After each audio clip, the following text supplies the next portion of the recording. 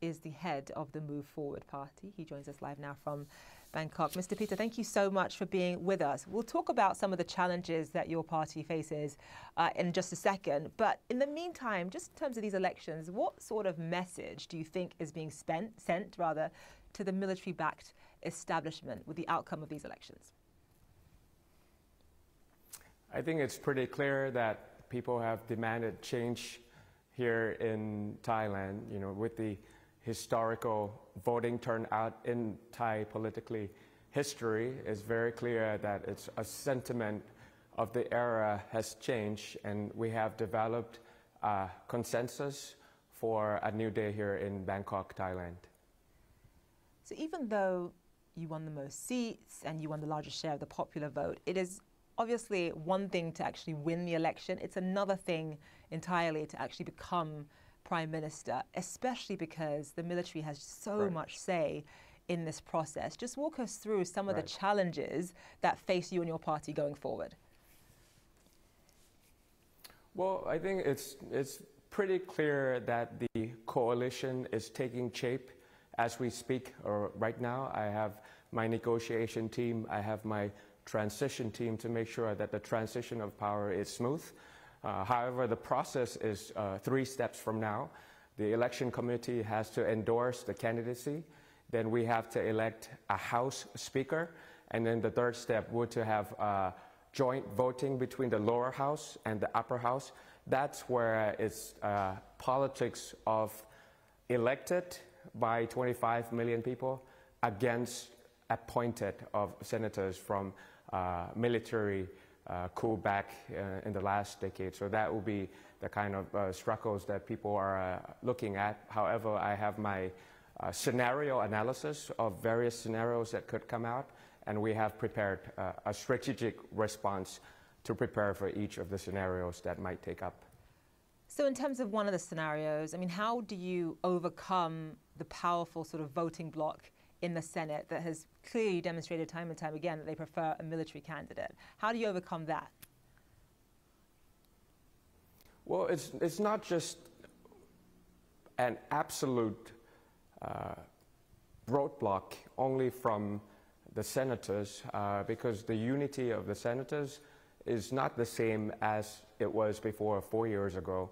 Uh, for the past four years, you know, the significant shift in public opinion and um, the kind of consensus that's already been developed and shown in the election. So it's not always the case that the senators, even if it's military appointed, will decide on the vote as uh, before in the previous election. So I think if we keep communicating and we keep explaining what we're trying to do to the country, uh, we, we, how well we mean uh, for the future of uh, this country, I think that would not be a significant uh, roadblock. And the price to pay, the cost of going against uh, 25 million votes here in Thailand will be very hefty.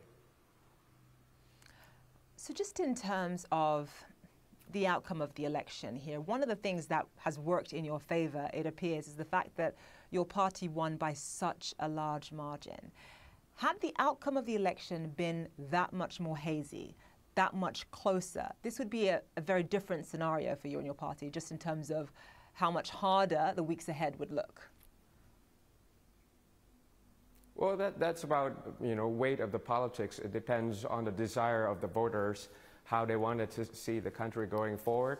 And it turns out to be 50 million vote for me, which is almost like 2.5 times uh, more than the previous election.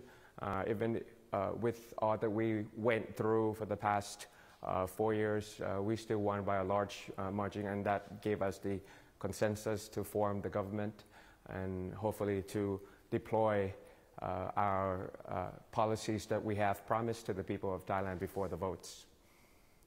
So, what would it look like if the outcome of this election is subverted um, by the military? I mean, I mentioned in one of my earlier questions that you know, it's one thing to win the election in Thailand, it's another thing to actually emerge as the winner, as in become a prime minister.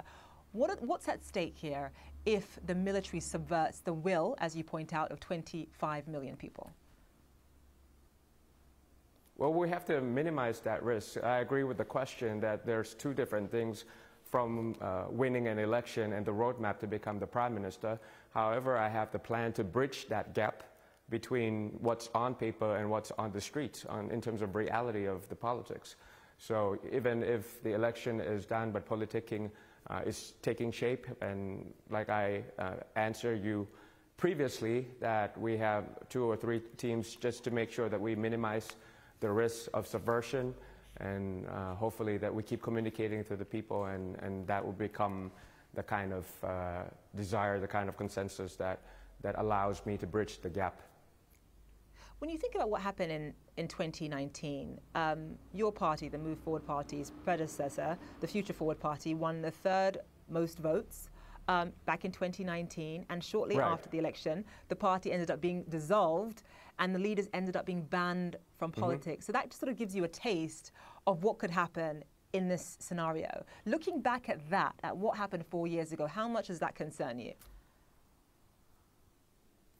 Um, I'm not worried, but I'm not careless as well. I mean, I've been in, in politics in Thailand for the past 20 years, started from a very junior position, so I, I can see the brutality, um, the brutality of politics all around the world, not just Thailand. So I think what we uh, need to do just to make sure that we're not concerned about this is to anticipate scenarios that could happen and learn from the past and we prevent it from happening. We, I have a strong legal team. I have a, a strong uh, practices uh, just to make sure that we don't give out any uh, easy targets for party uh, dissolution once again or to get me out of uh, my authority for no reasons. Yes, there's you know, professional and personal attacks against me, but I have prepared in the past uh, in order to um, clarify and explain and, and making sure I have a strong legal basis for anything that comes my, my way to the government house. So these elections, of course, were monumental just in terms of the number of young people, the sheer number of young people coming out and um, showing their sort of ardent opposition to military rule. Um, mm-hmm. With that responsibility, mm-hmm. just walk us through some of your policy priorities for Thailand over the next sort of uh, f- four to five years. Mm-hmm. Well, your question is two or three folds. First of all, you know, young voters uh, came out a lot, uh, about 5 million new uh, first-time voters here in Thailand. But the entire generation, not just the first-time, not just the young, you know, the middle age or the old, you know, with the historical voting turnout of seven, almost 76%, that's pretty sensational.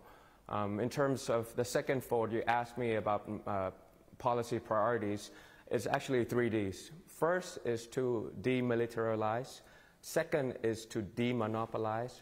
And third is to decentralize Thailand. I think with the three prong approach, uh, that's the only way that we can fully democratize uh, Thailand and make sure that Thailand is back to business. Thailand is back on the global arena, making sure that you know, the country is contributing as well as benefiting by the new definition of globalization.